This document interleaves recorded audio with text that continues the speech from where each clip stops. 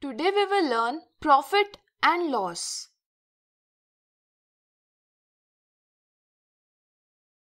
Rohit bought a ball at a price of rupees 90. The price at which an item is purchased is called the cost price. It is represented as CP. Thus, the cost price for Rohit was 90 rupees. Rohit sold the ball to Varun for rupees 120. The price at which an item is sold is called the selling price. It is represented as SP. As Rohit sold the ball for rupees 120, the selling price of the ball was rupees 120 for him. Varun bought the ball from Rohit. What is the cost price for Varun? Think, think. Absolutely right. Since Varun bought the ball for rupees 120, therefore rupees 120 is the cost price for Varun.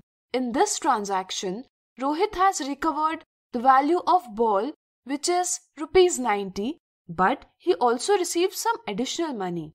This additional amount is called profit. Whenever the selling price is higher than the cost price, then in such case the person earns profit. This profit is obtained by subtracting the cost price from the selling price. Here profit is equal to 120 rupees minus 90 rupees is equal to 30 rupees. It means that Rohit spent 90 rupees on which he got profit of 30 rupees. There is a profit of 30 rupees on the cost price of 90 rupees. That is, there will be a profit of 30 rupees divided by 90 on the cost price of rupees 1 which is equal to 1 by 3. Similarly, we can say that the cost price of 100 rupees, Rohit will get a profit of 1 by 3 multiplied by 100 rupees is equal to rupees 33.33 rupees. The profit earned for every 100 rupees spent on the cost price is called profit percentage. That is, Rohit will get 33.33% profit in this transaction. The profit percentage is always obtained on the cost price. So we take the cost price as the base. We write the formula for profit percentage as profit percentage is equal to profit divided by cost price multiplied by 100%. Now let's look at another situation of the transaction. Suppose Rohit bought an item for rupees 90 but due to some reason he had to sell the item for rupees 54. Here the cost price is 90 rupees and selling price is 54 rupees. Now think, had Rohit earned profit in this situation? Think, think.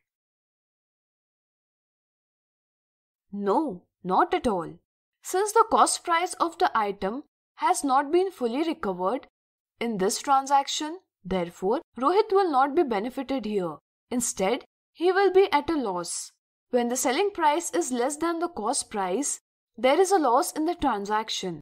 This loss is obtained by subtracting the selling price from the cost price. Now imagine how we can get the loss percentage. Think, think. Like profit, loss also obtained on the cost price. So again, we consider cost price as the base. With this understanding, we write the formula for loss percentage as loss percentage is equal to loss divided by cost price multiplied by 100%.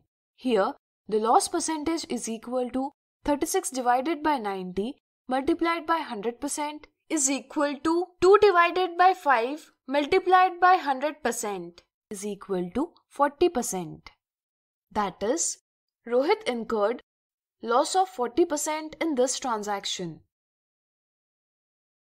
So today we have learned profit and loss. In the next video, we will see other interesting examples on this topic. Thank you